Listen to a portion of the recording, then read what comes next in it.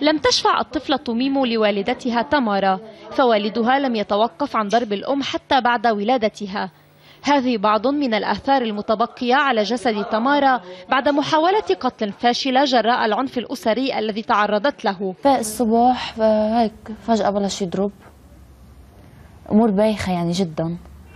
آه، ضربني إذانة كان بده يحرقني وكان ولاده عندي بالبيت. تخبيت ورا بنته قال لي ما عندي مشكلة بحرك أنت وياه.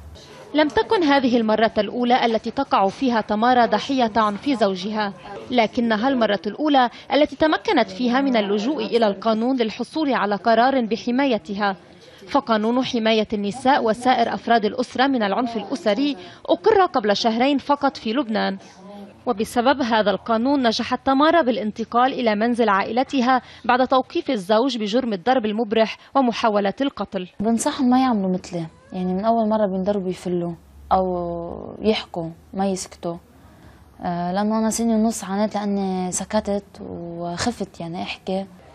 هذا القانون صدر بعد أعوام من النضال النسوي في لبنان وبعد سلسلة من الجرائم التي وثقها الإعلام منذ عام 2010 ليصل عدد النساء اللواتي قتلن على أيدي أزواجهن أو أقرباء لهن إلى 27 امرأة خلال أربعة أعوام. ولكن وبحسب جمعية كفى المعنية بحماية المرأة فإن هذه الأعداد هي أكبر بكثير.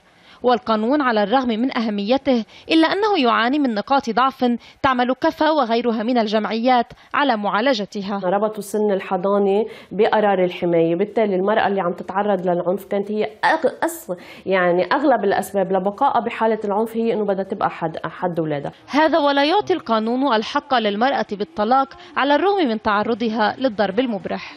لا تزال أمام الجمعيات المعنية بحقوق المرأة وحمايتها سلسلة مطالب أقلها حق حصول المرأة على الطلاق في حال تعرضها للضرب المبرح. من بيروت غنوة يتيم العربية.